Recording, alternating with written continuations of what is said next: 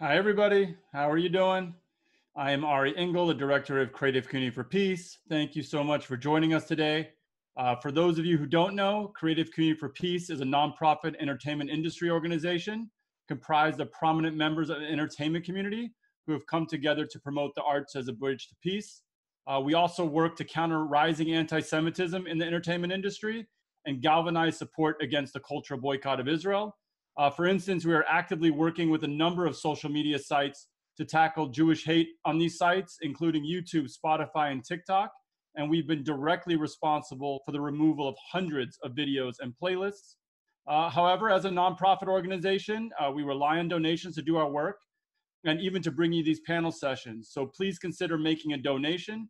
And for anyone that wants to sponsor a panel, please feel free to reach out to us uh, at info at creativecommunityforpeace.com. That's info at creativecommunityforpeace.com. And to learn more about our organization and to donate, you can simply go to ccfpeace.com. That is ccfpeace.com or creativecommunityforpeace.com. Uh, I'm very excited for today's panel discussion with leading voices in the Israeli Ethiopian community about their history, their culture, life in Israel, and how it manifests itself in art. For all of those joining us in Zoom, you can leave questions in the Q&A section, and we'll get to as many as possible towards the end of the uh, discussion. To briefly introduce our guests, first we have Naftali Aklum, who is a lecturer and educator on the Ethiopian community in Israel.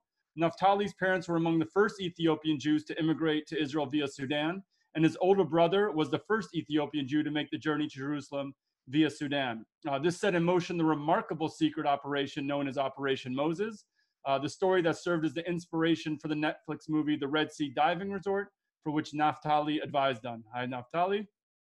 Hi, greetings. Uh, how you doing? Next, we have Aveva Dese, who is an artist, singer, and songwriter. She is a first-generation immigrant from Ethiopia. Her parents made Aliyah during the famine of 1984 after being airlifted to Israel as part of Operation Moses. Uh, she brings her fascinating life story into her music, creating an inspiring and empowering experience which uses traditional Ethiopian sounds infused into her soul pop songs. How you doing? Uh, our next panelist is Hewan Meshesha, who is the daughter of Ethiopian immigrants. Uh, she is the lead singer of the band Ground Heights, which is a group that combines languages and rhythms from Ethiopia alongside the musicality and influence of Israel's next generation of musicians. Uh, the group's combination of Ethiopian music alongside Hewan's deep knowledge of the Amharic language gives her music and the band a truly unique sound. How you doing, Hewan? Uh, and our moderator for today is Ashager Araro, an Ethiopian activist who was born in Ethiopia and immigrated to Israel as an infant during the 1991 Operation Solomon. Um, in the Israeli army, she rose to the rank of lieutenant in the paratroopers brigade and then got her degree in public diplomacy, uh, or public policy, sorry. And she serves as the coordinator for the Young Ambassadors Program, which worked with schools around Israel to identify and equip young Israelis with the tools and experience necessary to pursue a career in policy. Alongside this work, she established the Ethiopian Heritage Center that is interactive and a first of its kind. It serves as a place for people to explore and appreciate the story of Ethiopian Jews in Israel. And I advise everybody visiting Israel to make sure you check it out. And with that, I turn it over to you, Ashager. Hey everyone, I'm so happy to be here. Thank you for everyone that joins. Great to see my friends here. Uh, so we're going to have an amazing head. So we're going to have an amazing ta- a, a panel because we are amazing, talented people. And I will start with the basic. I would love to hear about the story of your family coming to Israel. Uh, Aveva, I would love you if you can start. Yeah, sure. Okay, so Ashager, you actually heard this story a few times, but uh, we have a lot of people who don't know it. So uh, my family came to Israel in Operation Moses in 1984. Um, so my parents had like, they had three kids. Um, sorry, they had four kids, and my mom was pre- pregnant when they started this journey. Um, and actually, the reason that they chose to leave Ethiopia uh, for people who don't know the history is they suffered from persecution and they weren't able to live their religion as open and as proud as they wanted. Uh, they kept that, this religion for thousands of years. Um, but the story about this journey, so they started decided one day to just leave everything behind uh, and started walking to Sudan. Uh, this journey took for like almost, I think, three weeks walking till they got to the refugee camp in, in Sudan. Uh, it was a really hard uh, journey for them. Uh, in the camp, they stayed for a few months until uh, the Israeli military came to take them. And in during this uh, long time, they suffered from diseases and uh, they didn't have enough food. Um, my mom gave birth to her child, and um, they th- my parents lost two kids during those three months. Uh, all those stories that I heard, uh, I'm still gathering all the pieces, uh, but this is like a short way to tell it. Thank you very much. Uh, Hewan, would you like to tell your story? Of course.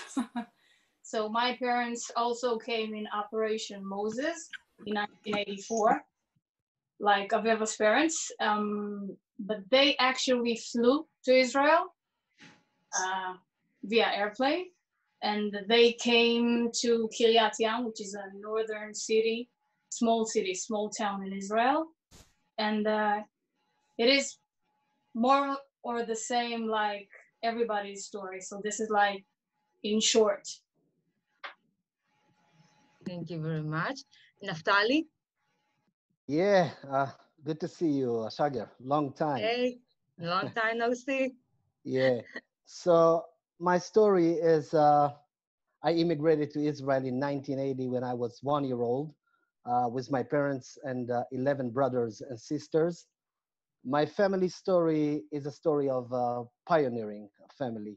My family is the first family to immigrate to Israel through the journey to Sudan, a journey of more than 300 miles. Um, but it all started in 1977. Uh, in 1977, there was an agreement between the state of Israel and Ethiopia. We call it the arm deal a deal that Ethiopia will allow uh, Ethiopian Jews to leave the country. And in return, the state of Israel will give weapon and advice to Mengistu Haile Mariam. My brother, may rest in peace, was the one that organized the Jews from the northern side of Ethiopia and brought them to Addis Ababa. I will not go into de details, but uh, this, this deal was canceled and my brother became a wanted man and then he escaped to Sudan. And uh, when he arrived to Sudan, he started to send letters to his contacts telling them, it's me, Farid Aklum, I'm in Khartoum, Sudan, uh, please save me. And this is how the Mossad arrived to Sudan and um, the pilot of how Ethiopian Jews will come from Ethiopia to Sudan was a pilot on my family. And uh, thank God we made it, and the rest is history. Thank you very much, Naftali. I think uh, what is very similar to each story and combine in general the history of Ethiopian Jews is the resilience of the people. The people, the resilience of keeping the Jewish identity when it was very hard for them, and resilience where they work so hard, you know, to go back to their homeland, go back to Israel. And as Aveva mentioned, a lot of families have have a lot of people were saying every family you have at least one loss someone that you know that lost someone and this journey the number right now is over 4000 people that have lost their lives have perished during the journey and for you guys everyone that i see came very early uh, what do you think or you remember your family idea of Jerusalem or Israel and what actually happened when they came to, um, to Israel. Naftali, can you elaborate?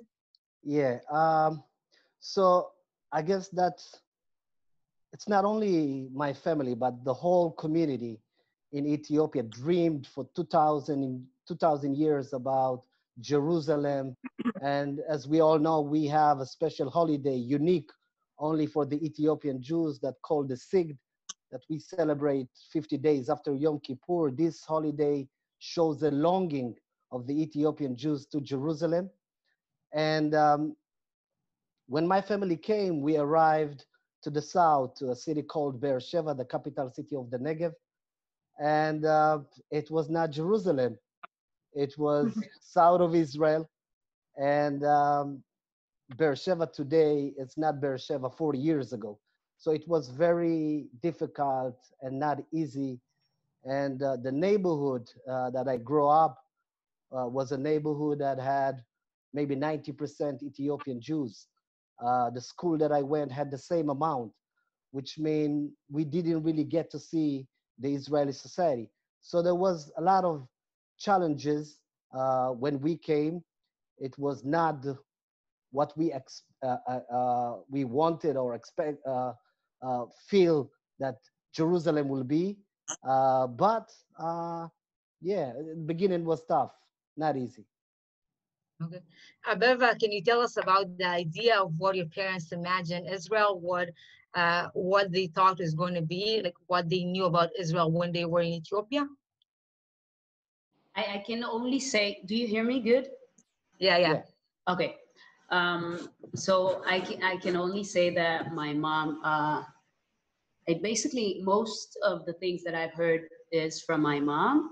Uh, and every time I ask her about Ethiopia and coming here to Israel. Uh, she's always grateful and uh, proud and so happy to, to be here.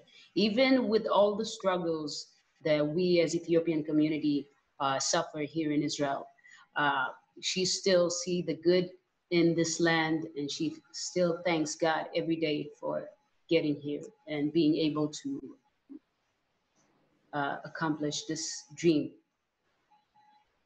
Thank you very much. Uh, Hewan, can you tell us about the idea of your family?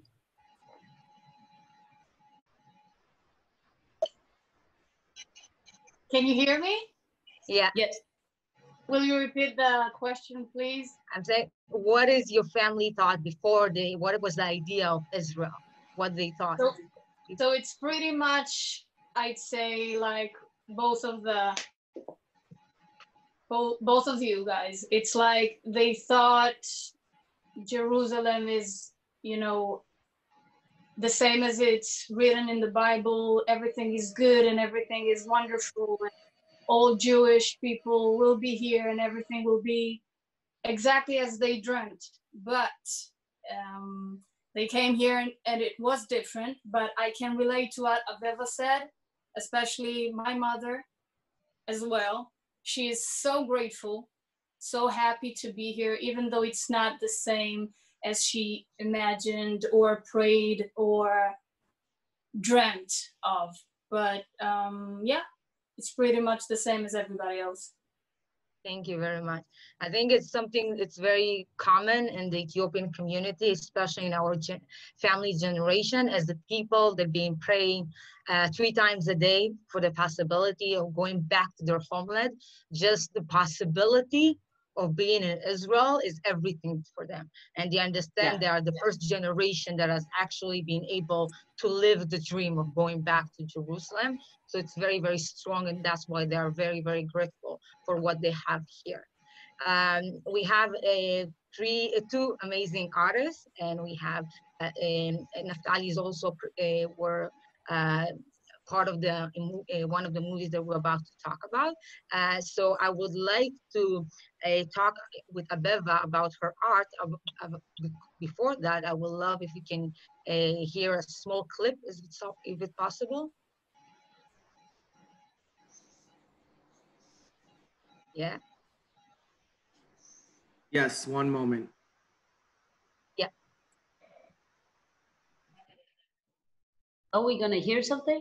Yes. Yeah, we want to hear your beautiful music. For those okay. of you who doesn't follow Aveva, you should do it. I'm a great fan. She has amazing, amazing music.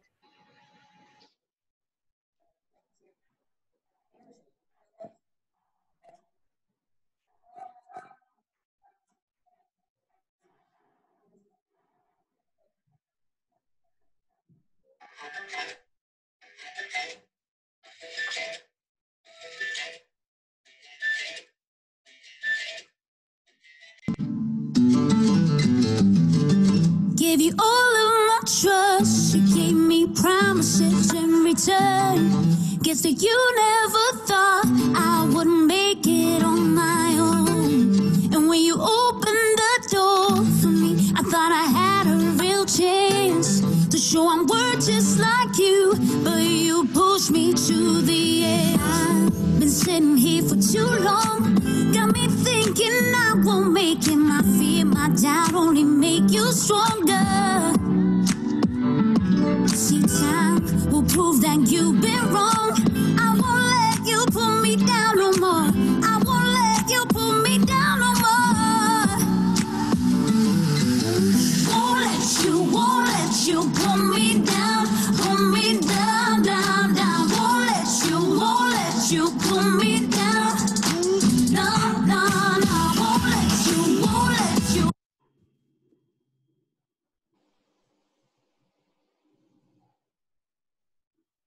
Okay, we're back. Yes. Yeah. Great. Uh, so it's, I'm very happy we put this song because because it's one of my favorite songs. Uh, Aveva, I know that you I had a couple of events with you, and every time you use your platform to tell your story. Um, how do you feel like? uh, What is the main message you're trying to bring with your art, with your music? Oh, okay. So actually, I want to thank you for choosing that song because it's actually my favorite project too. And not only the song, uh, the whole project of working with those amazing women that I got the chance to meet and get to know them, and being able to uh, put the light on those beautiful and strong women. That actually we don't see that a lot in our uh, TVs or uh, media platforms. Uh, and if I had to say uh, in a few words, what is my message? Uh, it's hard, but basically, I would say that I am trying uh, to spread love, to spread education, uh, to to uh, help people maybe find a way to uh, understand that we are all the same and we are all equal and we are all worthy and uh, just hoping that we get the chance to live here in peace and with love with every different community groups identities Beautiful. Beautiful, very, very beautiful. Uh, as someone that's been in your uh, performance, I feel like every single person that walks out feel the sense of unity and love and connection, and and that is something is very amazing for artists. Uh, I want. Uh, what do you say your message uh, when you perform? What are you try, What you trying to bring to, to your audience? I would have to say that for me, it's um, let me just let me rephrase it. When I grew up, I always, always, always was so proud at my heritage. I was always like so happy when my parents came to school and loved everything about our culture. And I grew up, I had the the luck to grow up with my grandmother. I was born in Israel, but since she lived with us, I had to speak Amharic. And uh, this is why I know Amharic relatively well. And with that, I can write music. And uh, to me, I would say that it, it would be to be proud of your heritage, of your roots, not being afraid to show who you are through music or whatever it is that you choose to do. And um, this is pretty much it because we as, Ethiopian Jews, Beta Israel, we are like a constant reminder to the Jewish people all over the world and in Israel to be specific are like reminding all the time like this is what we are here for. This is what we came to Israel for. And let us not forget our heritage and what it is that we need to do and to just like Aveva said, spread love among you know the different uh, adult cultures, uh, different groups, Jewish groups, to be specific for me, um, and to, just remind them that this is what what we are here for. Um, this is what I try to do best with our music. That's great. Uh, do you use a specific part of the culture or music uh, that relate to Ethiopia in your own music? Yeah, of course. A lot of our, I mean, I write my music in Amharic, a lot of it actually. Um, but can you just be more specific? Because I'm not sure I understand your question. So you said uh, uh, specific tools maybe, or sound of music that is more traditional, or uh, dress, or something more Ethiopian culture. That you, do you I- use it? I'd say that we're not using like traditional tools, music tools, but we are trying to um, uh, imitate the the Ethiopian groove, uh, the Ethiopian uh, kirar or masenko through the electric uh, guitar, which really brings an innovative uh, kind of music to to the world and makes it more, I would say, um, um, communicative to the to the audience. This is what we do because i'm always saying that i'm like i was born in israel. I am an israeli with ethiopian heritage and roots and they are deep roots. But i am a mix of stuff. I'm not only one thing.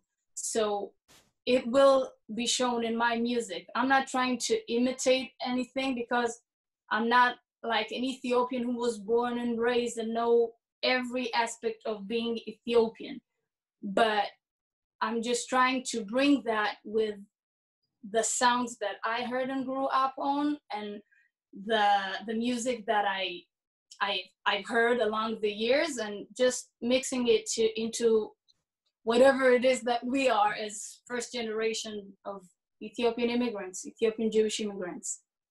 That is amazing. I think it's a lot about Israeli because we come from different cultures, different countries, different background, and then we come Different here, influences.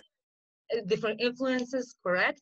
And then we come here and we take what we can from our culture and combine it to this something that called Israel. So with this mind and, and with this in mind, I would love to hear one of your songs. Uh, so we'll have one one clip now. Okay. Thank you.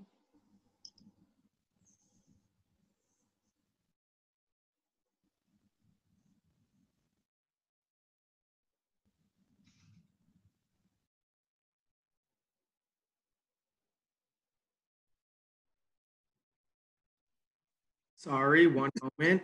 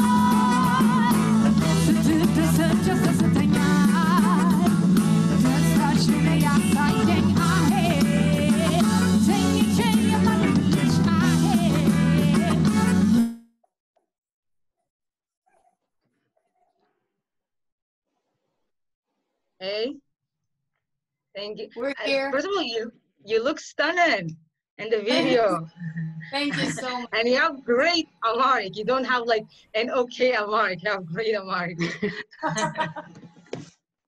so let's put it out there. Uh, Naftali, um, Yeah. for the for the people that weren't fortunate enough to see the great movie, uh, the Great uh, Diving uh, Resort, uh, can you tell us a little bit about the movie and how it became and what what uh, your action toward the mu- uh, toward the movie? Yeah, so the Red Sea Diving Resort, it's a movie that tells the story of how the Mossad saved uh, the Ethiopian Jews uh, from the refugee camps in Sudan and brought them to the diving resort and from the resort to Israel. Uh, three years ago, I got a call from Gidi Raff, who is the director of the film, and he offered me to be an image consulate for the film. Of course, I was uh, very happy. It means that our story for the first time is coming to Hollywood. Uh, my wish was that through the film, the world will know our amazing Aliyah story. But unfortunately, the film glorifies uh, the Mossad people and less emphasize on the journey of the Ethiopian Jews. Uh, I can say that I'm not happy with the end result of the film at all. Uh, but there is an, but in everything that is bad, you, you, you need to try to see the good. And the good is that the film raised people awareness to the story of our community. Uh, a lot of people, when they see the movie, the first thing that they want to do is to learn more and to educate themselves more about uh, the Ethiopian community. Today, there is uh, a narrative that we are trying to change uh, the narrative of saving. Uh, when we grow up, we grow up knowing that the state of Israel saved our parents from Sudan and brought them to Israel, which is true. I mean, they did amazing job uh, and they brought us to Israel. But one thing they forgot, they forgot to tell how much our parents are heroes. And they are the real heroes. And uh, when we grow up, we didn't know that. Uh, I remember when I was a kid, uh, Hewan you said that you were proud of your parents. My generation, we were not proud of our parents because we always knew, oh, the government of Israel saved them and brought them. We never knew the stories of the journey to Sudan and how much our parents sacrificed in order to be here, how much they left behind their house, their land, their properties. Uh, the 4,000 Ethiopian Jews that didn't make it and died on the way. So, going into this film, I wanted that uh, to be the focus of the of the movie. But um, I guess there is a lot of politics in Hollywood, and um, unfortunately, as I said before, I'm not happy with the uh, end result of the film. But I can tell you that we are working on another movie, and this time the movie will be from the Ethiopian Jewish people side of the story. So we will correct that. And um, I'm looking forward for that. Amen to that. Yes. yeah.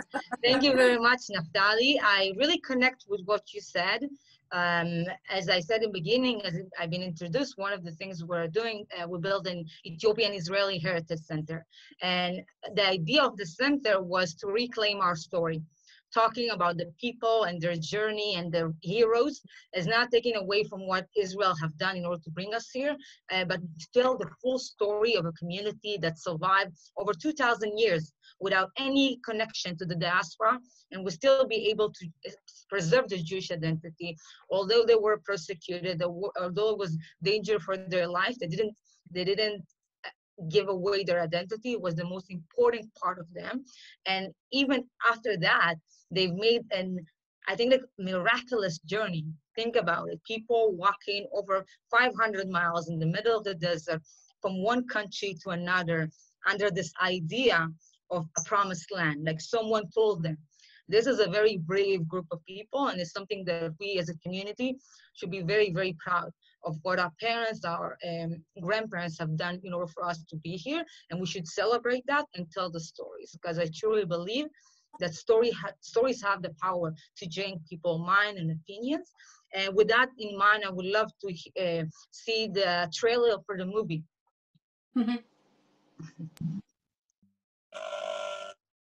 By the way, uh, Shager, uh, Michael K. Michael K. Williams, who play my brother in the movie, was so moved from the story of our community. Those days, he's doing a documentary film in Ethiopia. That wow. is amazing. Wow. wow. Yeah. Yeah.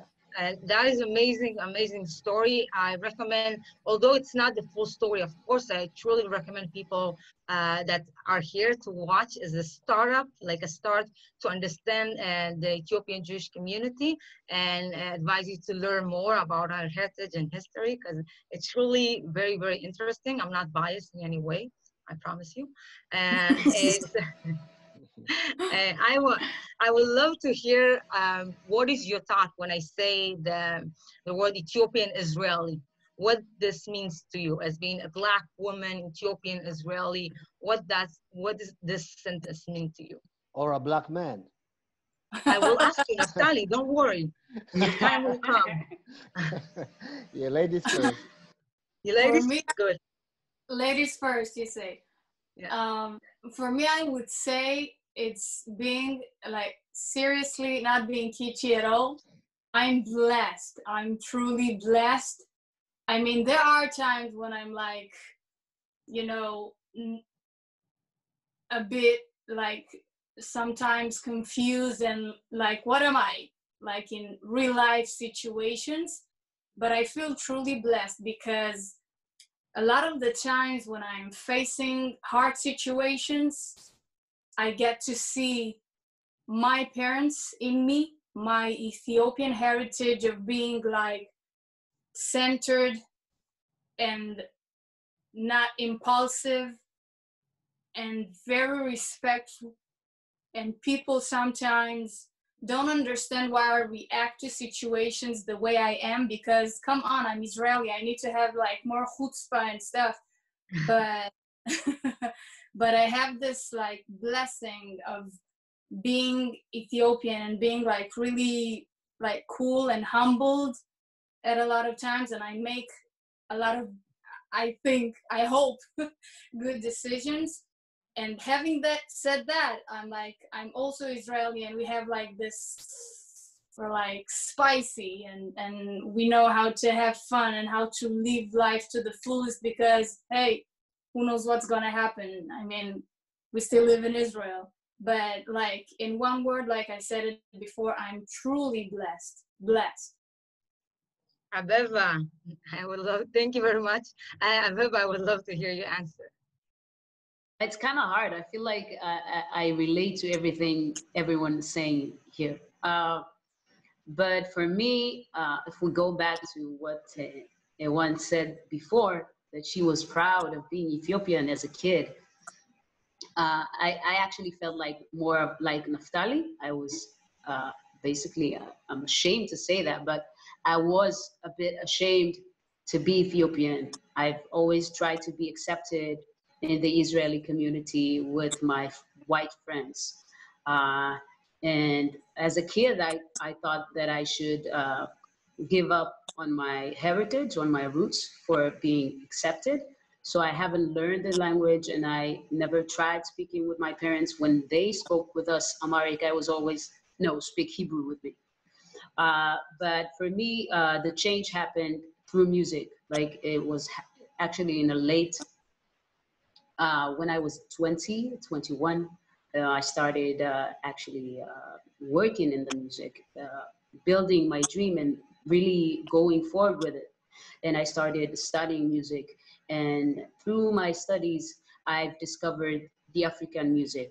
And I really fell in love. And that was uh, what made me go back and start ask, asking questions and realizing how powerful and how uh, big heroes my family are, my parents are, uh, and discovering all the stories that I didn't know. Uh, so I'm really proud. I'm very super proud to be Ethiopian. Um, Yes. I, I, I feel like it once said, I think the values that the Ethiopian community has, I wish that we could spread it all over. Respect, being humble, and seeing the, the person in front of you, no matter who he is. Um, and I really cherish and appreciate, and I thank my parents for giving me that. Amen to that. I agree with everything you said. Thank you very much. Naftali, now it's your turn. Yeah. Tell us about your experience. Yeah, well, um, well, when I was a kid, I had a lot of identities problem. Uh, in one hand, I was a still proud Israeli, proud Jew. In the other hand, I didn't like the color of my skin. Uh, it's not easy to be a black man in a country that a vast majority are white. Um, and I was asking myself all the time, or asking God, why did you brought me to this world if it's not easy to be a black man in a country that our vast majority is white even though we live among our brothers and sisters um, so i had those identities problem but when i arrived to the age of 16 17 uh, something happened and that thing was music reggae music. Reggae music is a music that teach you about you yourself as a black man. And this is something that i never had because in school no one told us about that. So it started with the music. By the way you see i have dreadlocks right? Yes. so I have dreadlocks because when I was 16, 17, I remember that my generation were looking for role models within our community. And we didn't find no one. And we had to go, some had to go to the, s- to the United States of America and saw Tupac or Biggie as role models because they are black people who did it. And I'm, an, I'm not a big fan of rap music. I'm a big fan of reggae music. So I saw this guy, Robert Nesta Marley, as someone that I can look up to. Um, and then in the age of 30, I did something else. I went to a roots trip back to Ethiopia. And over there, I saw the beautiful country of Ethiopia. I went back to the village that I was born. I saw friends of my family. They told me about the Jewish community that used to live there. And I came back a different person. I came back even more proud Jew, proud Israeli. But in the first time, a proud black man. Black is beautiful. Right. And um, Yes. and and I had confidence. And Marcus Garvey said, um, if you don't have confidence in yourself, you are twice defeated in the race of life. So when you know who you are, you know you're worth something. And today I feel blessed and I'm proud to be black man and to be a Jewish man and to be an Israeli. This is me and I'm proud of it. Thank you very much, Naftali. I feel I connect to every single thing that uh, each one said. Uh, I believe that is being black. It's all about education, how your parents, how your society is treating you, and your ability to know your history, and gives you a lot of pride. And uh, I think each one of us in different ways or in a different uh, age understand the power of our heritage, a power of our story as a people, and use this story in order to gain self-confidence to who we are, who are our parents, and what our heritage is symbolized as a black woman, a black man, an Israeli, and being a, a, a strong part of our society. Um, so I will ha- have a couple of uh, questions from the audience. Thank you very much for uh, so far. Uh, so the first question uh, I was uh, asked uh, Aveva, and the question is about your military service. Uh, service. Have you done military service? Which position? And what do you feel this uh, have contribute? Oh, okay. Yeah, I did a military service. Actually, I would say that I tried to uh, get to the military bands that they have here in Israel, and I didn't make it, but that's okay. Are you sure?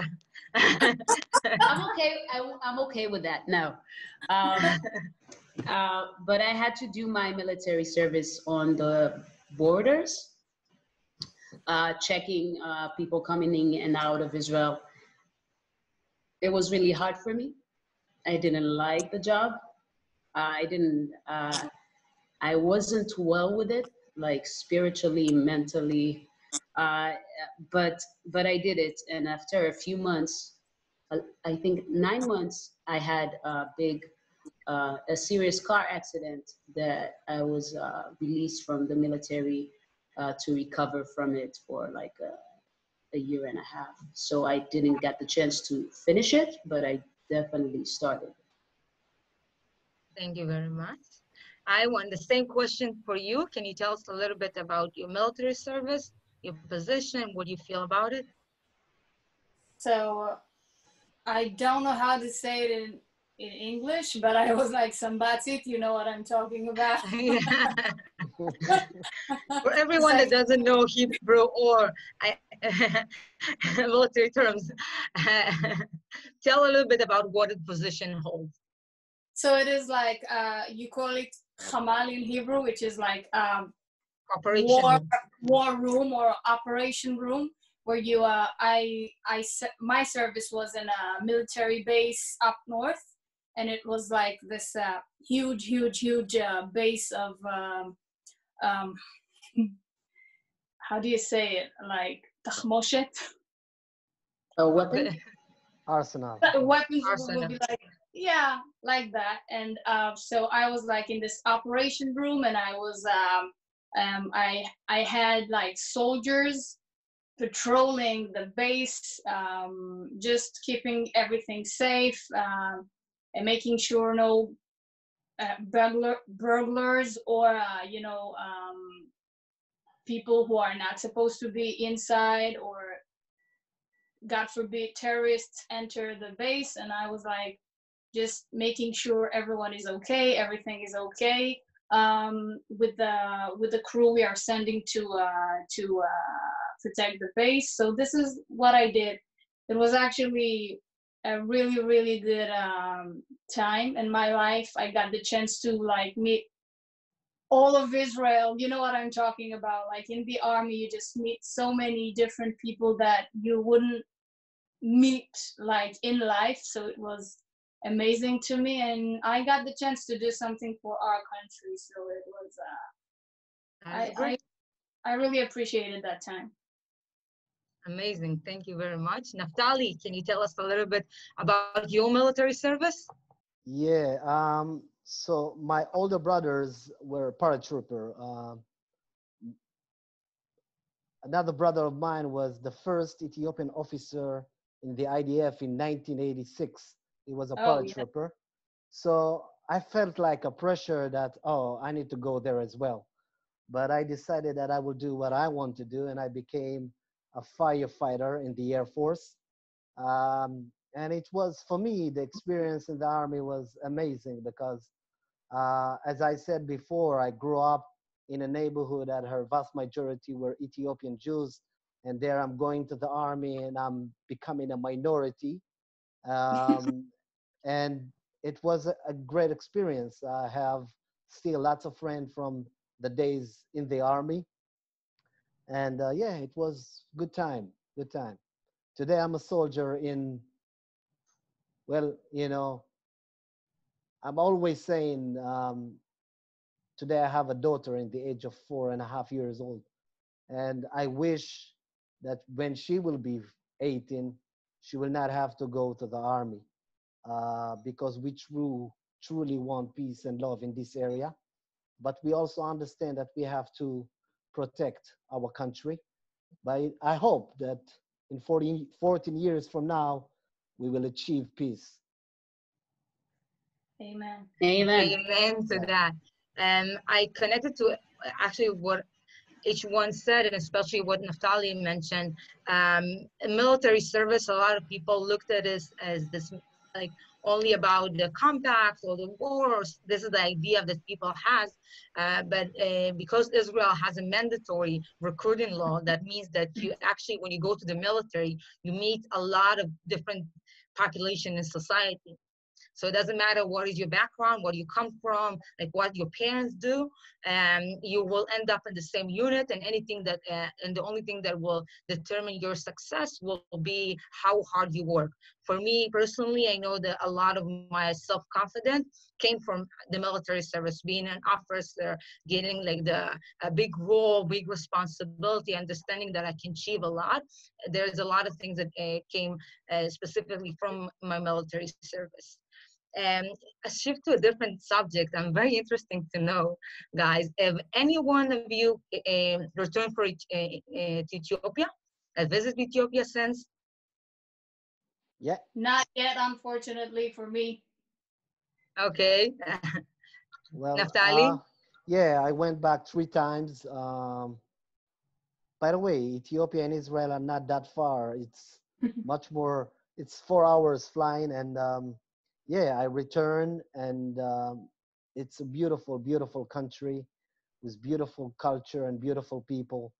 And when you go there, you understand why Ethiopian Jews have such a beautiful culture and such a, such a beautiful um, way of thinking about life. So yeah, I recommend visit Ethiopia. I agree. I want. Have you visit? No, I haven't, unfortunately, but I have to soon once this COVID 19 ends. I agree with you. I've been in December, like a, few, mamash, a few, mamash, a few months before the No, corona started. And the corona started and i agree with Naft- naftali when you go uh, to ethiopia you feel like the ethiopian time everything is much relaxed everyone is happy and content and there is something very nice about the atmosphere and just uh, being in a, in a place that is so connected to your heritage. Uh, what brings me to the next question um, Aveva uh, where do you define yourself you see yourself as Ethiopian? You see yourself as Israeli, as a combination of two? Uh, definitely a combination of two and even more. we'll go to different. Uh, but actually, when people ask me, and a lot of people ask me that question, maybe because I'm in the music industry, I would have to say that I uh, describe myself Ethiopian Israeli. I feel like it's a little bit of rebellion act uh, from my side, and even like owning it after such a long time of me being afraid of it um, and and not being able to accept it and ashamed of it. I decided that I wanted, like, I feel like it's something that is more of who I am and more of who I want to be. And that's how I would describe myself. Thank you. That is very interesting. I want, can you tell me about your role models uh, in the industry, music? Oh, so many of them. but I think. Um, tell me about me- one. one of them, I would say, uh, it would have to be Stevie Wonder. He is like my beloved. I just, Yeah. I, I, I don't know what is it that I need to do in order to just watch watch his show like just just for one more time and I'll be I'll be content. I just love that man. But you know, a lot of influences, of course, of Ethiopian music and Mahmoud Ahmed and you know, but yeah, Stevie Wonder would be the one for me. Go ahead. Great one. great, great one. And Naftali, can you tell me about your role models? It doesn't have to be music, of course. Uh, well, um, so I mentioned before uh, the great Robert Nesta Marley, but my role mo- role models will be my parents. Uh, you know, my father, my mother. Uh, to see them coming from a country that they were living 50, 60 years, coming to a new country trying to do anything they do in order to bring us good education and to raise us well. And they, for me, they are my role models, you know. Definitely. That is true. Thank you very much. Um, I think a lot of most of us here are a generation that either was born in Ethiopia and came very early, or were uh, or were born uh, in Israel.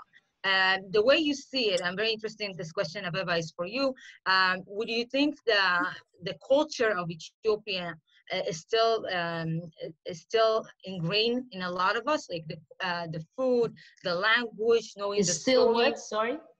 Is ingrained is a part of our identity for you think about your children or you look at your siblings Uh, yes and no. it's a bit. It's it's getting a little far from from it because we live here in Israel. If I see my nephew, he doesn't know even a word in Amharic. But for me, uh, I would have to say that I, I find it as a big uh, goal for me to keep my heritage, to learn the language that I uh, um, didn't want to learn when I was a kid, and now I'm doing my homework. Uh, for me to be able to pass it on to my kids, I think the story of my, our community, the story of my family personally, I would, uh, I, I think it's very much important to pass it on. It's something that each one of us can learn from, and I think it's it's really important to keep. Uh, but I would definitely say that I think it's half and half you know? Some people feel like really important for them to keep the religion the the the heritage of the ethiopian community. And uh, i would say that my main uh, hope is that the ethiopian culture would be part of the israeli culture. That way we would all remember it and it would stay here i agree very good i want what you will be the the biggest message you will pass down to your children ch- children from our culture like what is the thing that is the most important for you to preserve I th- I think uh, being humble, being humble, being grateful, being thankful.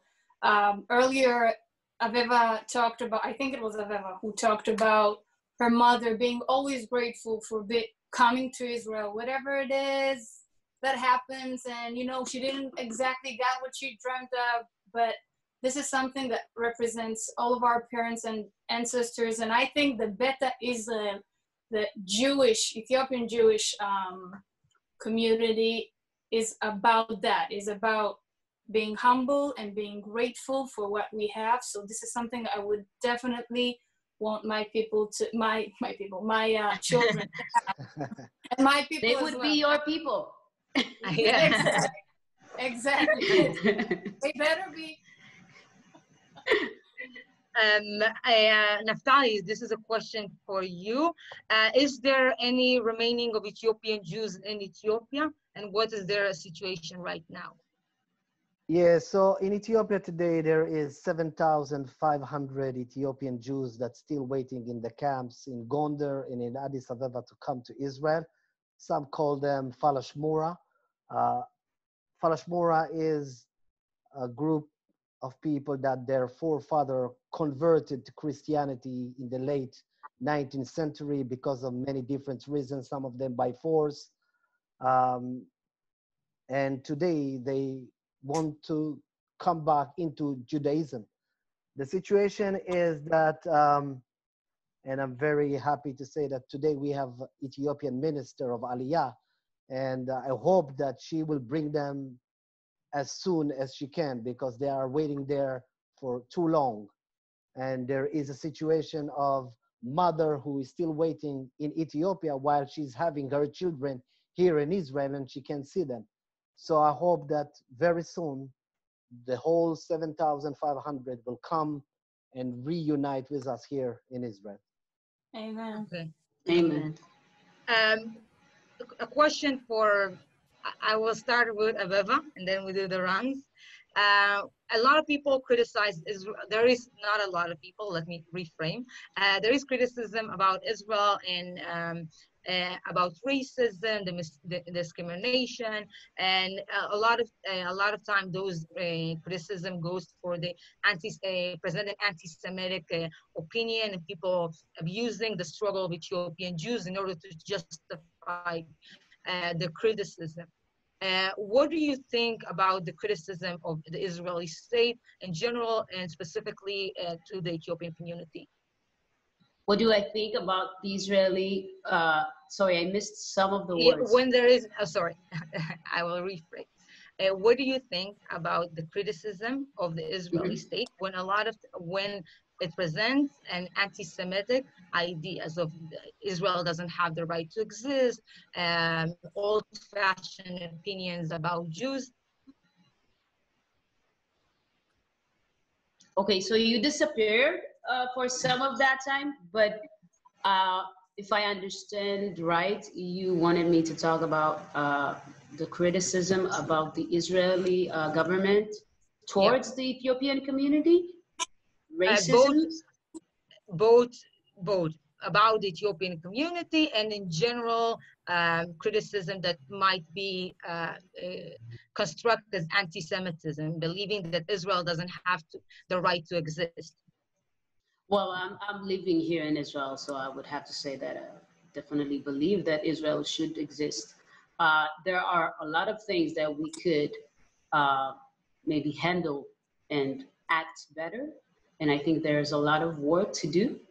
Um, the things that I'm more familiar with is uh, things about our community, the Ethiopian community, and that would be uh, talking about racism, uh, and uh, the way that the government handled uh, the Ethiopian Aliyah and the way that they chose to put them in groups and not uh, uh, spread them all over Israel in different places, uh, not in the center. Um, I would say that there are a lot of things that Israel could um, change and should work on it. Racism is something that is alive and still here all over. Um, I actually have a song that I wrote about it. And um, this is something that we meet in our lives daily, on a daily basis. Uh, for me, I would say I think it, it's much uh, easier uh, than a black person. I would uh, believe that Naftali would talk about it more. Uh, but a lot of things that are happening here in Israel shouldn't happen. And, and I find that we still have a lot of work to do. Uh, if it's about the Ethiopian community, uh, different ethnic community, the Arab community here in Israel. Uh, yeah. Thank you. And Naftali, do you want to elaborate about that? So I think that, uh, you know, we are in the COVID-19 time these days. And the biggest disease of the world is racism and anti-Semitism. And it's been there for a very long, long time. And um, first, I think that we in Israel have to accept that there is racism, discrimination, and police brutality you see when you have someone who have alcohol problem he have to admit that he have a problem if he want to make himself better. So we as a society here we have to know that there is a problem here. Once we will know that we will try to find ways to attack that. Um, and you know white people got tricked black people got tricked. It's a problem. It's it's it's it's a problem that belongs to everyone because there is a lot of white people that was raised like that and educate like that. And a lot of black people that have this um, slavery mentality still within them. And we we have to work on that toward a better world. Uh, so this is this is by the way this is why you do what you do Ashager this is why Aveva and Hewan do what they do with music. And this is why I do what I do. We try to educate people. We want to change. I'm not sure we will delete racism from the world, but we can try to minimize it. I totally agree uh, what you just said. I think as Ethiopian Jews and Israelis, uh, uh, Israel is our home. It's our country. We love it. We're proud Zionists. We understand the connection to the ground. and we understand the history and what our parents and grandparents have had to go through in order to be here. So we cannot disrespect their uh, their uh, effort and sacrifice. And what we do here is living our life as Israel, proud Israelis and at the same time working very hard in order to uh, to make Israel as a better society, as a better country. And this is both battles that we always face, being a proud Zionist and still being able to be criticized, uh, criticized about Israel and be able to make it a better country that it, it is right now. Uh, so I agree with everything that has been said.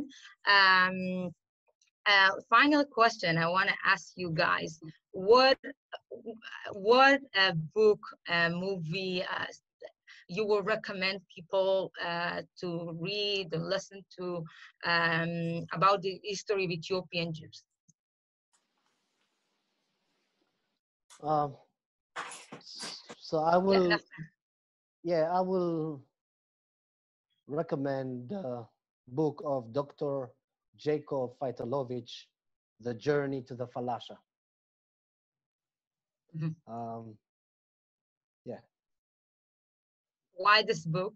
Just wondering. because it's a book that um, I guess for the first time, really, someone who came out from Europe to Ethiopia to really uh, study the history and the culture of the Ethiopian Jews. Um, and Dr. Jacob Faitlovitch has a lot to do with us being here today, uh, even though it was in the beginning of the 20th century. But still, um, he have a lot of points of us being here today.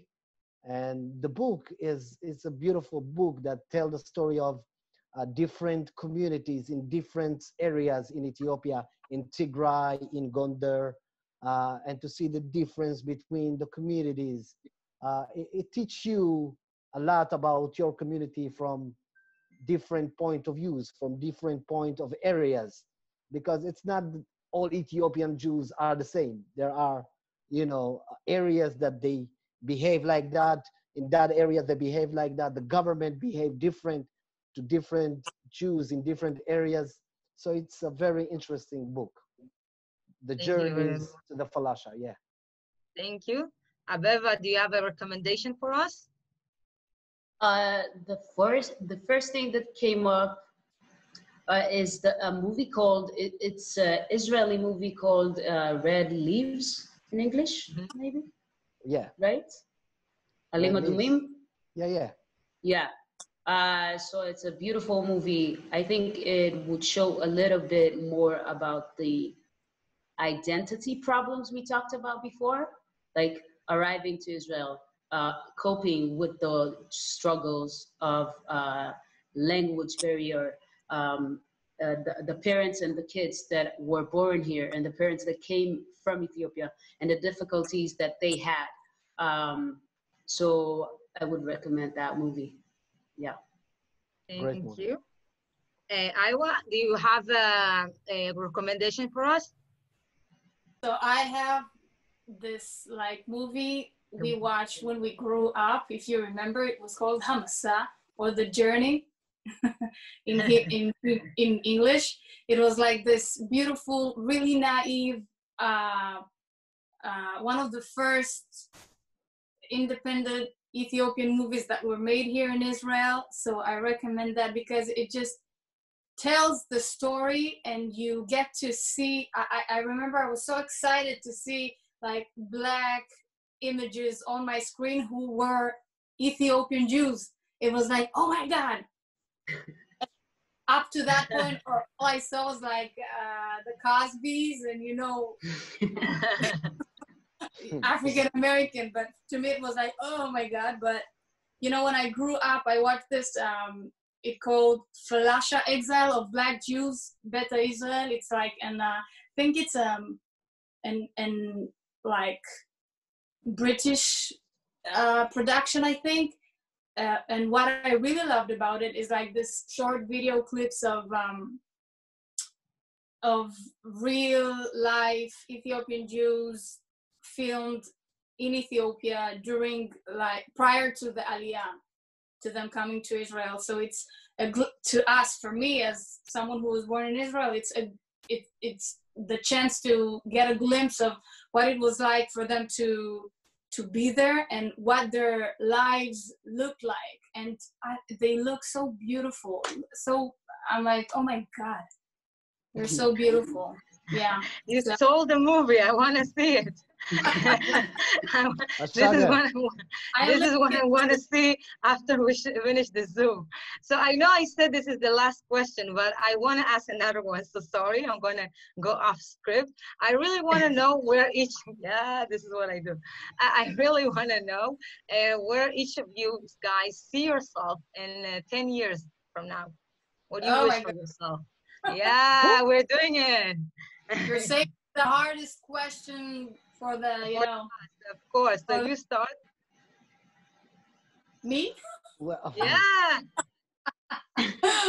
uh, oh my god oh my god where do i see it I, I need a minute let me just wrap my head around that question okay, Naftali, you want to jump in and help us? Yeah, I just want to say something before that. We used the term falasha a long time in this session today. And uh, I just want to clarify that to the people that listening to us.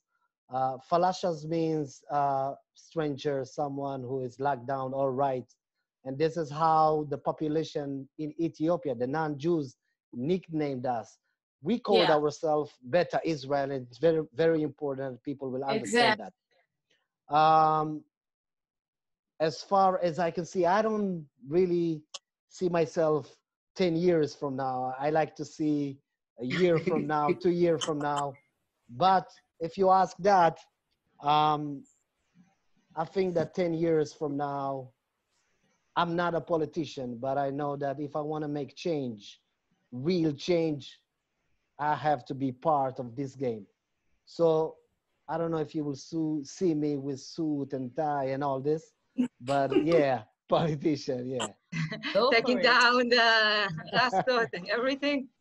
i'm actually No, really no, I, I will, I, I will be, I will be a politician with dreadlocks. You know, Okay. I will not, I will not cut them. Yes, please. I see. Great. Aveva, what about you?